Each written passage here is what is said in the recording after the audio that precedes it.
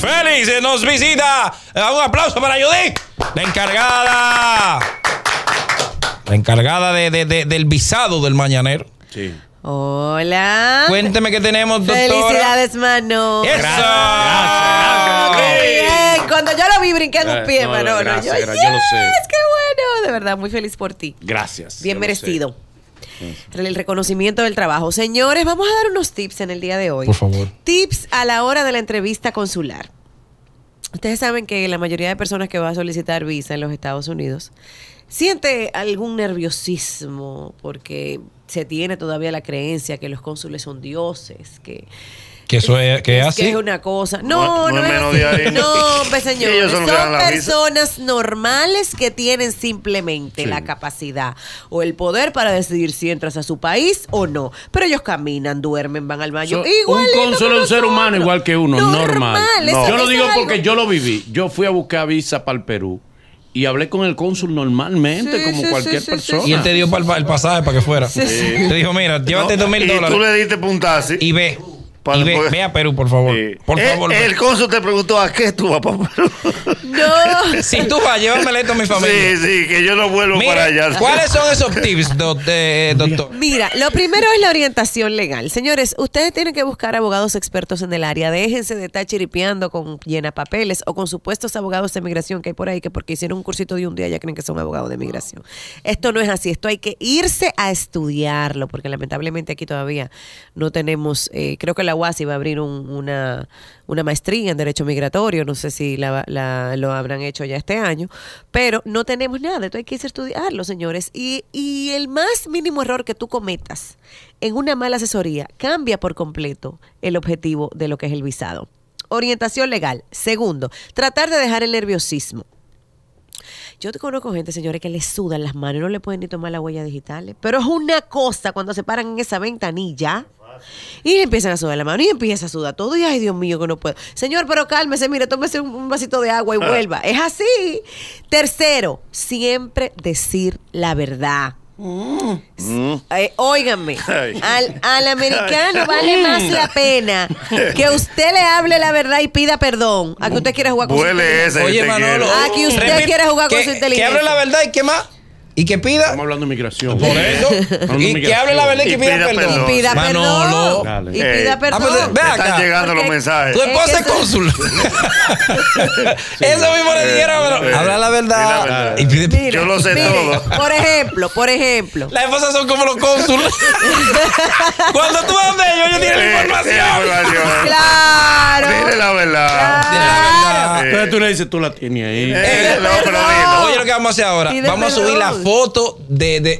¿Eh? Sigue. ¿Qué? que Pero deja que déjalo que termine. Siga, siga, siga, Pedir siga. perdón, Manolo, eso de No, mi humildes. amor, eso no es. Estamos en migración, no la Mire, por ejemplo, a veces tenemos eh, eh, eh, gente o algún familiar directo, un hermano en los Estados Unidos. Y porque el asesor te dijo, no te atrevas a decir que tú tienes un hermano porque va a pensar que te va a quedar. Ustedes creen, señores, ellos tienen una base de datos que ustedes no se la pueden imaginar. Cuando usted va ahí, ellos saben todo de usted. Usted tiene Y eso no es vida hermanos. ajena. Eso no es vida ajena. Usted, porque ese es su país, ellos deciden. ok. Son cinco, oye bien, cinco hermanos tengo. Mire, no, yo no tengo hermano en los Estados Unidos. Que usted no tiene hermano en los Estados Unidos. ¿Y quién es fulano, mengano, mengano, mengano, mengano y mengano? Te queda con la cara larga. Eh, eh, eh, mis hermanos. ¿Y por qué usted me habló mentira? No, porque me dijeron que yo no lo podía decir. Denegada la visa inmediatamente. Oye, aún calificando, teniendo toda la solvencia económica, los lazos familiares, sociales, todo por esa mentira, la visa es denegada porque ellos lo saben. Otra cosa, cuando tú llevas el dinero en el banco, eso es algo muy importante.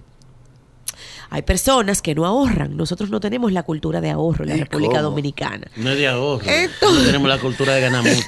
Es ahí que está la cultura. Entonces, a veces tenemos mucho movimiento. Mire, yo he tenido clientes, señores, que tienen 40 millones de pesos en movimiento. ¿Y a qué se van? Pero, no, no, no. Yo quisiera porque de paseo que va, de eso vale la pena. Y cuando van al, al promedio, lo que tienen son 40, 30 mil pesos porque no dejan dinero fijo en su cuenta. Cuando corta, lo que tiene son 30, 20 porque lo usa para Ajá. su negocio. Entonces el cónsul a veces te pregunta, ¿pero por qué tú no ahorras? Bueno, porque que yo lo muevo, el dinero yo no creo en el ahorro, yo creo en el movimiento. Y el cónsul también por eso te puede negar la visa porque ellos tienen una cultura de ahorro y dicen, yo no puedo entender cómo tú te quieres ir de vacaciones, gastar no tiene un dinero, cuando no tienes un balance disponible ahí o no tienes un ahorro.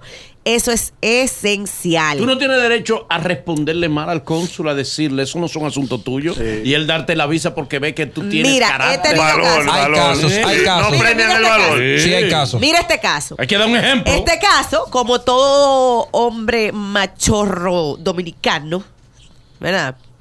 Eh, tuvo tres hijos fuera del matrimonio. Ya los otros hijos tenían visa.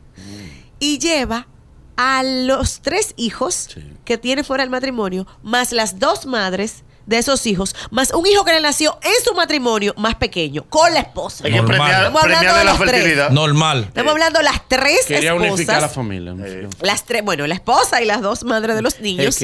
Ahí.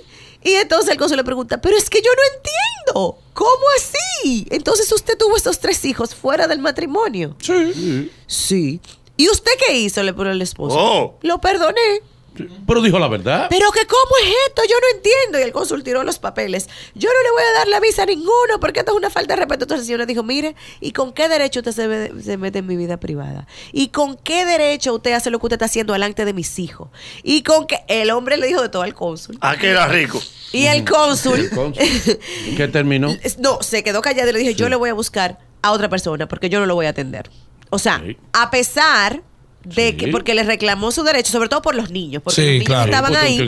y él, Era rico, era rico. y el cónsul se sintió medio mal porque los niños estaban ahí, no Sí, por lo que él le dijo. Entonces ahí vino un supervisor y le dijo, mire, yo le voy a dar la visa porque yo soy un poco más liberal que mi compañero en ese sentido, pero sabemos que es la Muy costumbre del dominicano. Del dominicano. ¿Y por qué? Y por eso, pero eso es una excepción De las reglas. dentro de las reglas. Entonces, por eso es tan importante tener la asesoría. Pero señores. sí, sí es bueno, sí uno tiene derecho a explicarle algo al cónsul. Por supuesto, Claro. incluso tú le puedes decir, discúlpeme. Exacto. Por ejemplo, yo tengo personas, tengo clientes que eh, han estado indocumentados en los Estados Unidos y han pasado por un año, se pasaron por el año. Son seis meses la estadía autorizada, un año.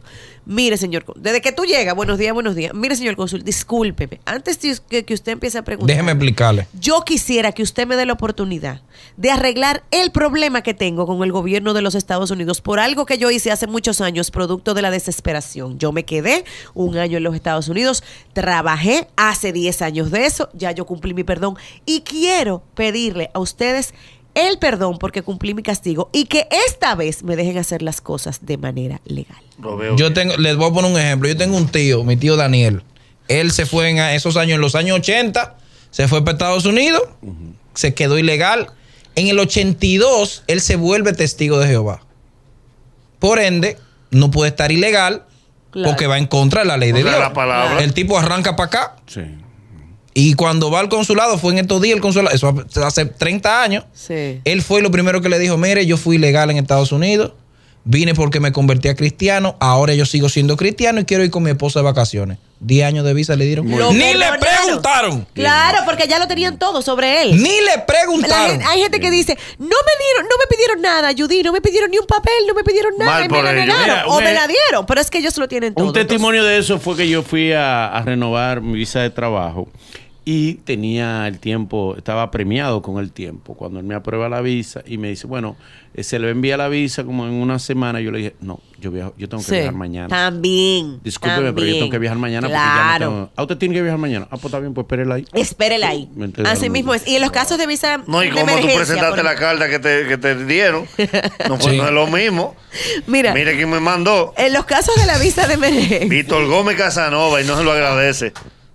Mal Cri, agradecido. cri, cri, cri.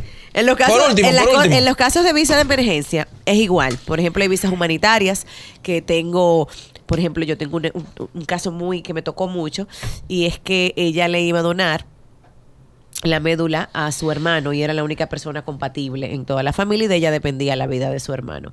Le había sido denegada dos veces la visa. ¿Por qué? Porque ella no tenía una buena asesoría y no decía, eh, ah, o otras veces no te dejan ni hablar. Pero entonces, Mal por ello. Pero entonces le dije, no, mira, tú tienes que ir con esta carta y decirle esto y esto y esto. Yo mandé una carta de reconsideración también al cónsul general explicando la situación. Y ella le dijo, mire, de que aquí depende de mí, de Dios, primero de Dios, de mí y luego de usted depende que mi hermano se salve. Wow. Porque yo soy la única compatible para donarle la médula a mi hermano en los Estados Unidos. Usted decide si esa muerte queda en su conciencia. Un aplauso ahí. Judy, ¿cómo la, gente se, emitido el visado. ¿cómo la gente se comunica con usted, Judy? 809-508-1621. Repito, 809-508-1621 el teléfono de la oficina central. Recuerden que también tenemos oficinas en Santiago todos los jueves. Estamos por allá en el programa de José Fabián, mi querido amigo que también tengo que felicitarlo Ah, sí, sí, por sí, la sí. nominación. Los 30 años en el aire, 30 señores. años en el 30 aire. años en el aire no es fácil. En la semana que viene vamos a responder preguntas que estén en este video, en el video de YouTube. Las Sí. preguntas del video de YouTube. Dejen su comentario ahí. Dejen su comentario Y ahí abajo. Mi, mi canal de YouTube, recuerden suscribirse, Judith Félix con. Y y Félix con Z. Ya usted sabe, saludo a mi Elsa.